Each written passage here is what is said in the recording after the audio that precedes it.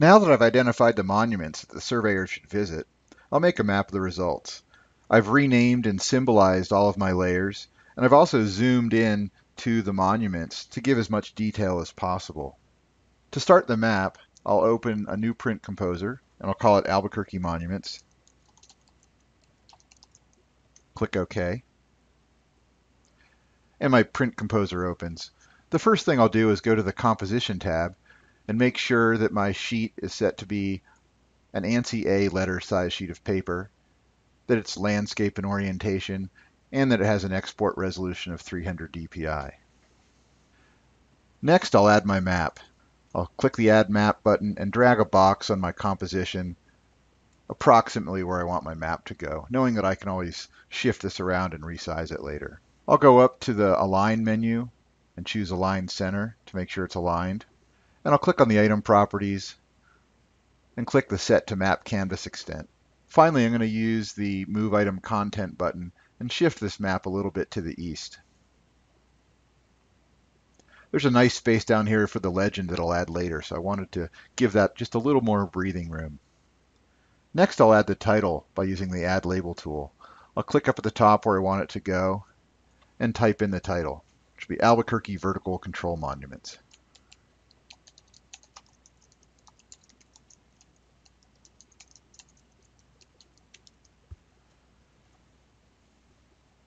I'll click the font button. I'm going to give this a font size of 28 bold, and I'm going to make it Times New Roman. And click OK.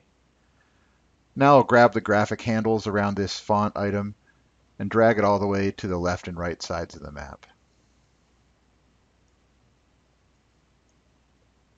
And you can see as I drag graphics around when I'm next to the edge of the paper or next to the edge of another graphic element, there'll be a little red snapping line that appears that helps you line things up.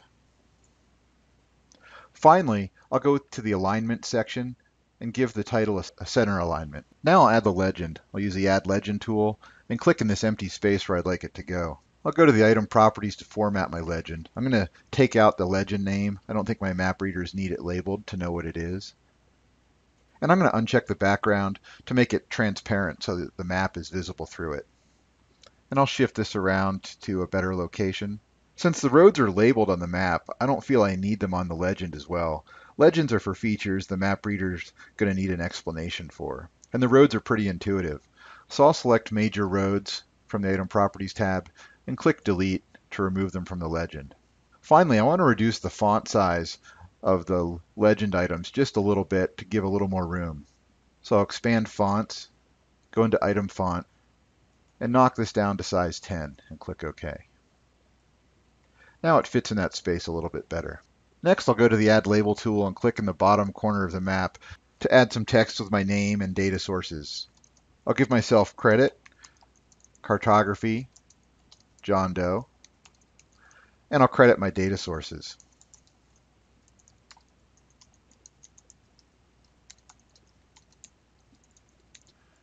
City of Albuquerque, Bernalillo County, and NM RGIS.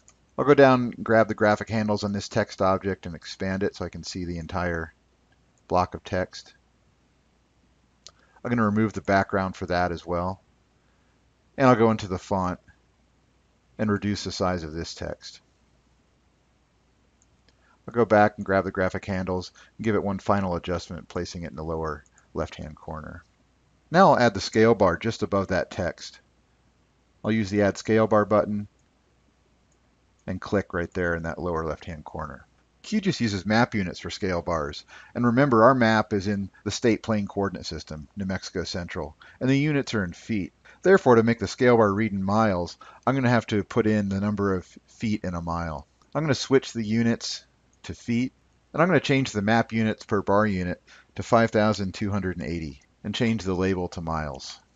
Next, I'll change the style of the scale bar to line ticks middle, and I'll adjust the segment length to the number of feet in a mile as well, 5,280.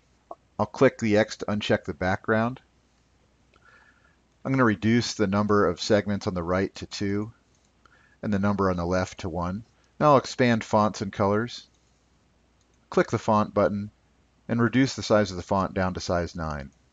I'm almost done. Now the font looks good, but the, the bar thickness is a little too heavy. So I'm going to expand the display option. And down here at line width, I'm going to click the down arrow till I get it to about half a millimeter, half as thick as it was. Tweak the position a little bit, and now it looks nice. Finally, I'm going to add a neat line or a border around my composition to give it some visual focus. I'll click the Shape button on the left-hand side and click Add Rectangle. And I'll add a rectangle around the full extent of my map. I'll click the Change Style button, click Simple Fill, and give it a fill style of no brush. I'll then make the border a little bit thicker and click OK. Once my map is complete, I'll export it to a high-resolution JPEG that I can provide to the survey team. To do that, I'll click the Export to Image button, go into the My Data folder,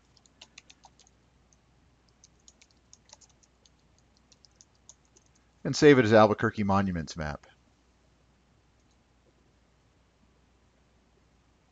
And now I have an exported JPEG of my final map to deliver to the survey team.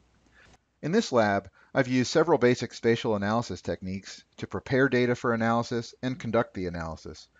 I've reprojected data, queried and extracted data, run a dissolve operation, and used buffer and clip to identify the final set of monuments.